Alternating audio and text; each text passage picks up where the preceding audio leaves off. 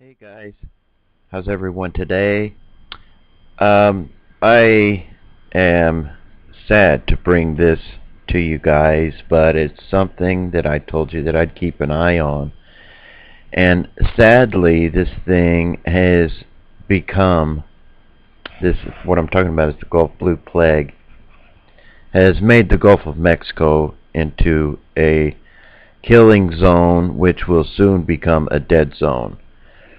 Um, because of the warmer water, the bacteria is multiplying and getting way out of control. It's been out of control. Our president took a payoff. The damage can never um, be given a money value on it. There's been so many people now that have got this flesh-eating disease. And I mean, they are trying to blame it on red tide, algae blooms, anything they can, but what it truly is. And they're finally acknowledging that it's the flesh-eating bacteria as well. There's uh, some stories. Largest red tide since 2006, not far off Gulf Coast. That's a lie. Um, here, algae bloom, size of Rhode Island, lurks in the Gulf. Another lie. Flesh-eating bacteria in Florida. Warnings issued about swimming in salt water, eating raw shellfish. Absolutely don't eat it. Don't don't come to the Gulf, guys. I live in Florida. I have family here that live on the beach and I'm constantly telling them to be careful. I mean, they they thought I was a nut um, about talking about this two years ago, and now they're just like, "How did you know?" And it's because I do the research on it, and I try to keep track of it. Three years after BP oil spill, USF researcher uh, finds mass massive die-off, and that's another thing. It's killing a lot of marine life. A lot of fish, a lot of other things are dying too. Rhode Island firefighter loses hand to flesh-eating bacteria. Um, flesh-eating bacteria in Gulf of Mexico kills 10. And as you can see, this is uh, July 30th, 2014.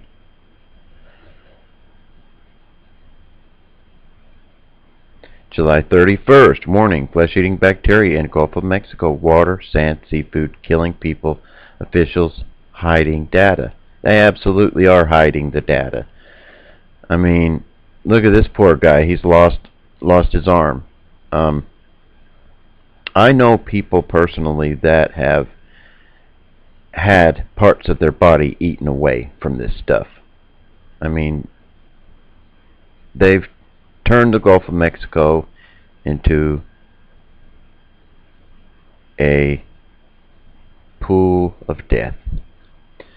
The Gulf Blue Plague is a serious, and it's going to be worse, I'm afraid. And what I fear worse is that a hurricane might come through the Gulf, pick that stuff up and bring it on land, drop it in the lakes, in the rivers. Um, rivers and stuff, they clean themselves, so they're going to be better off. But the lakes and stuff like that, uh, you know, we're in trouble, big trouble here. Don't eat the seafood if it's coming from the Gulf. Be careful, guys. And this stuff's going in other places in the ocean too. I mean, they've let the genie out of the bottle. They uh, have opened Pandora's box with the BP oil spill. And our president took the payment and they, you know, we can't do nothing more. He took the money and ran. There's nothing else then, and, and that's a shut case now. Now people are dying. Lots of people. Ten people killed and hospitalized 32. I mean, this is just this summer, guys. Just just within the last little bit, couple months. Bacteria infection from coastal waters extremely rare, not flesh-eating, Florida officials say. Well, that's a lie. Here you got um, on WebMD even um, flesh-eating bacteria. I mean, you know, it's it's causing some serious, serious worries, and it should. I'm going to leave links to all this stuff for y'all.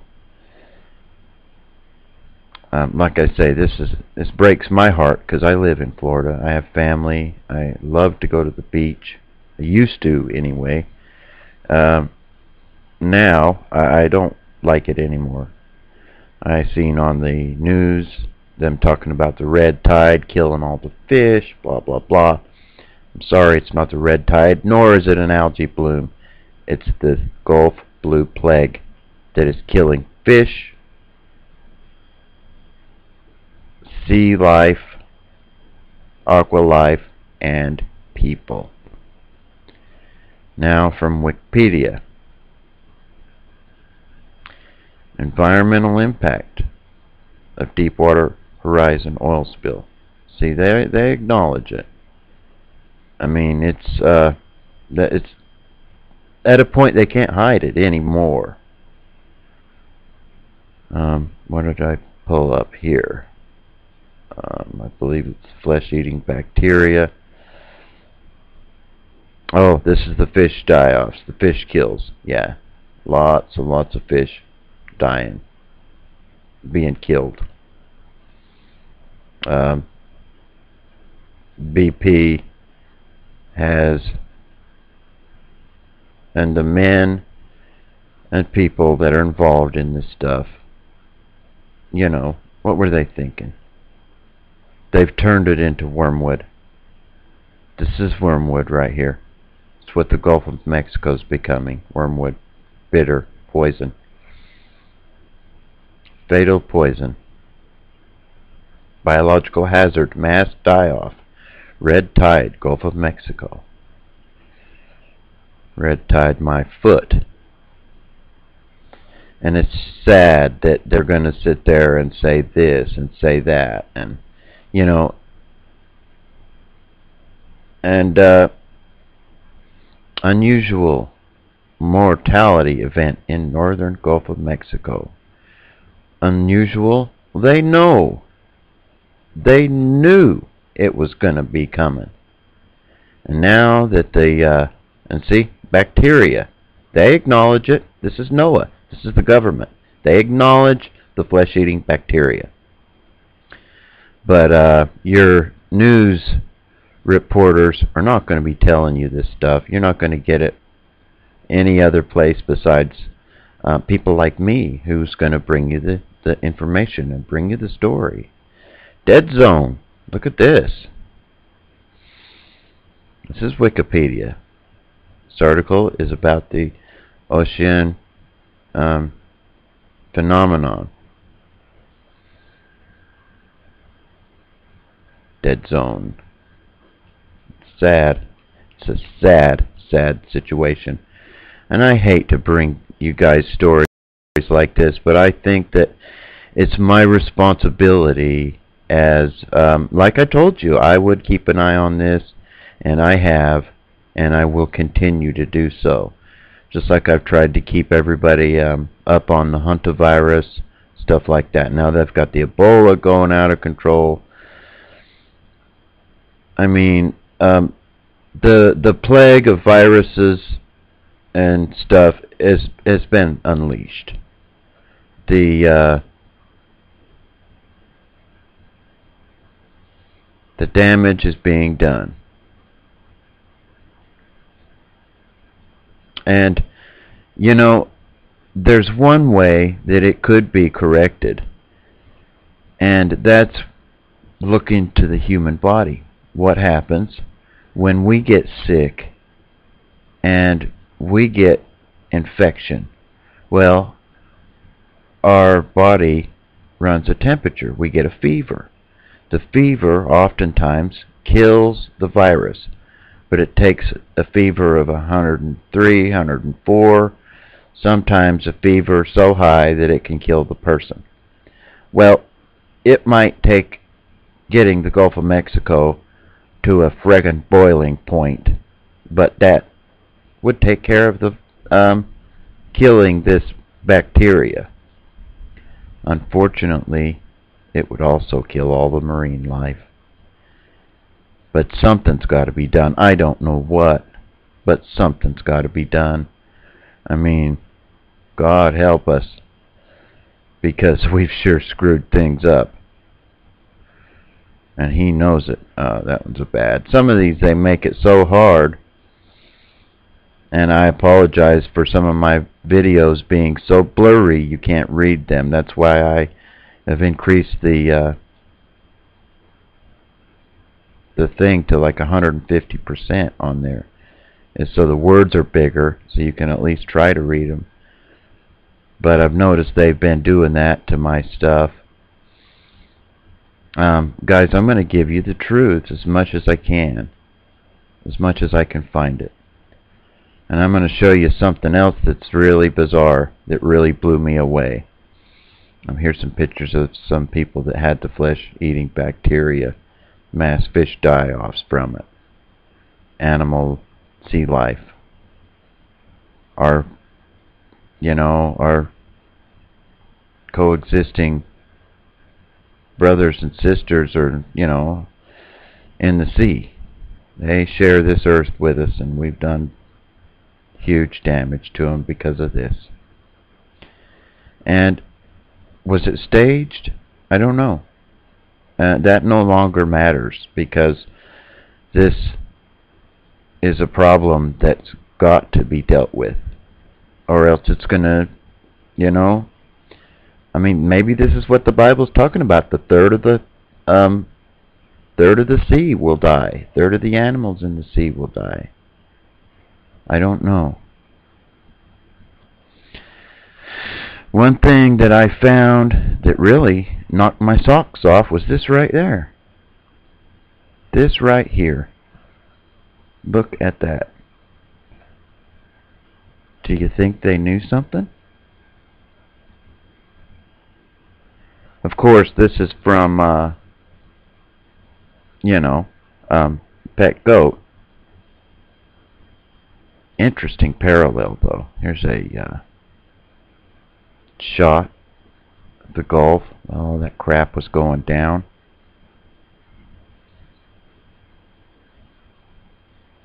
I mean, if you're thinking about having a party eating oysters, think again. Think again. Make sure you know where you're getting them from. Because this, this is the BP symbol right there. This is the man who took the money and ran. This is the little girl who's being poisoned, and these are all the lost souls that have been poisoned, and all the people that suffer.